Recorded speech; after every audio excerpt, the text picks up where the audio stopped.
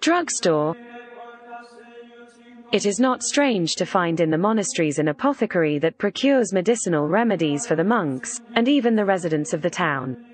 In Santo Domingo de Silos there has always been one with illustrious apothecary monks at the head, connoisseurs of natural science. This is from the 18th century. We can find our own pharmacy utensils such as pestles, mortars, flasks and an alembic to distill medicinal herbs. The fruit of concoctions and potions wisely mixed is the Benedictine liqueur, which can be purchased in our store at the exit.